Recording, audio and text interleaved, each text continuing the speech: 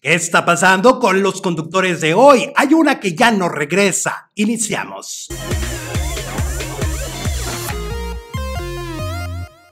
Bienvenidos a la información del mundo de los espectáculos. El día de hoy arrancamos con mucha información y arrancamos con Chantal Andere, quien a través de una entrevista ha defendido a Yalitza Aparicio. Todos somos mexicanos, dijo muy enérgica Chantal Andere cuando le preguntaron sobre las críticas negativas que ha recibido Yalitza Aparicio por su nominación al premio Oscar como mejor actriz. Eh, protagónica. ¿Por qué pelearte con tu raza? Perdón, todos somos mexicanos. Unos nacimos en una colonia, otros en otra, unos nacimos de un color más clarito, otros más oscuro, pero todos somos mexicanos, todos nacimos en el mismo país. Chantal agregó, qué maravilla, ella jamás se imaginó vivir lo que está viviendo, qué padre que Dios le tenía preparada esta sorpresa y yo estoy muy orgullosa de ella. Ya quisiera yo haber participado en Roma, aunque sea tirada ahí en Chapultepec para un cameo. Es lo que dice Chantal Andere, que por supuesto demuestra mucha inteligencia, como siempre, una gran una mujer muy inteligente para contestar. Y pues no lo mismo, no es lo mismo que podemos decir de la hermana de Talía, la señora Zapata, quien dijo lo siguiente. Bueno, pues qué suerte, ¿no? La suerte de las feas, no, no es cierto. Definitivamente el comentario de la señora Zapata fue muy desafortunado, fue un comentario muy, muy, muy, muy desatinado, porque el decirle fea a Yalitza Aparicio, pues simplemente nos deja ver qué hay dentro de cada ser.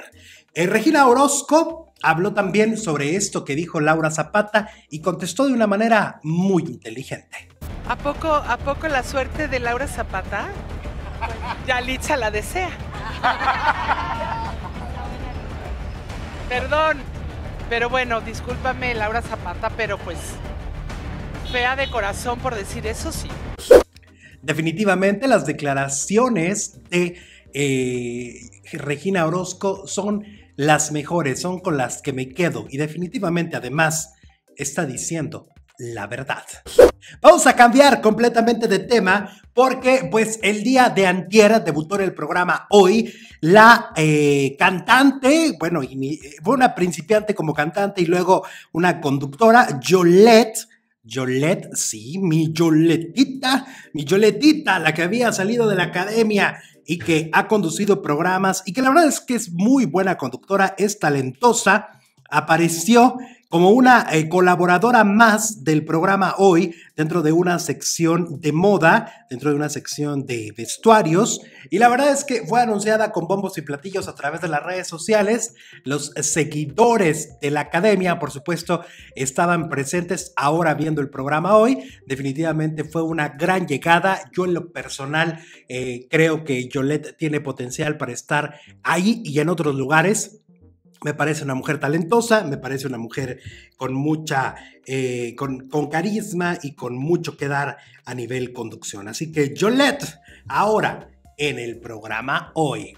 Y la que, bueno, no ha regresado al programa hoy y no va a regresar es Natalia Telles. Natalia Telles, esta famosa conductora de televisión, pues no va a regresar por el momento y es muy, muy probable, estamos hablando de un 90% de probabilidad que ella ya no regrese al programa hoy, ya que es la protagonista de la serie Ninis. Ninis es una nueva serie que arranca grabaciones este mes y que será protagonizada, como lo he mencionado, por Natalia Telles y Jesús Zavala, bajo la dirección de Chava Cartas, y bueno, pues ahí está. La serie Ninis se va a transmitir próximamente por eh, alguna plataforma y definitivamente me parece una gran eh, idea el hecho de que Natalia por fin le den la posibilidad, porque la verdad es que es buena, buena actriz, buena conductora, es una mujer bastante versátil. Y bueno, ella la verdad es que sí estaba un poco cansada de la dinámica de hoy en todos los sentidos, la dinámica laboral, la dinámica de levantarse temprano, la dinámica de que había algunos comentarios no tan agradables por parte de una de las principales conductoras.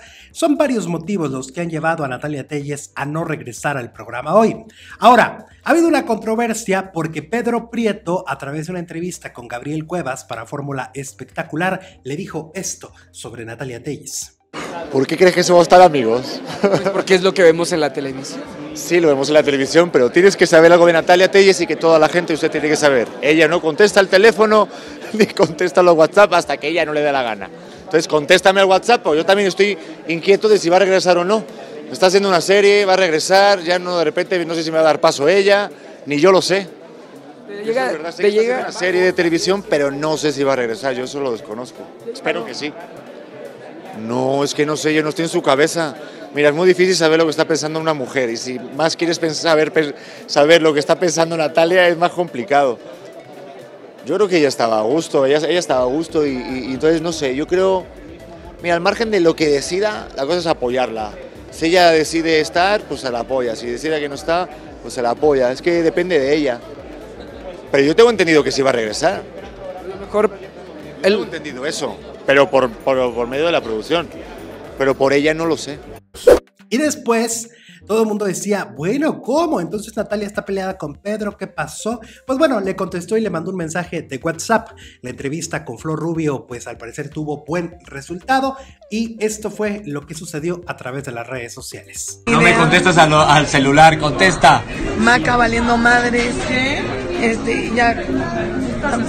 Grabándote. Qué bonitos dientes, Pedro.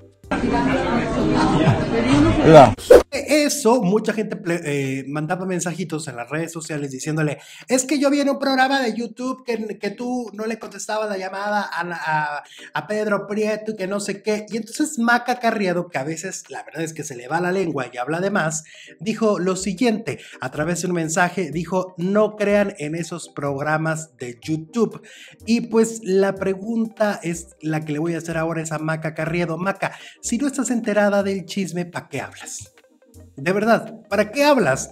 Porque no fue justamente alguien que lo inventó, no fue un youtuber, no fue un programa en esta plataforma, fue el propio Pedro Prieto, como lo acaban de escuchar, quien dijo que Natalia no le contestaba las llamadas. Fue él el que lo comentó, fue él el que lo puso en la mesa. Así que Maca, por favor, calladita, calladita, te ves más bonita.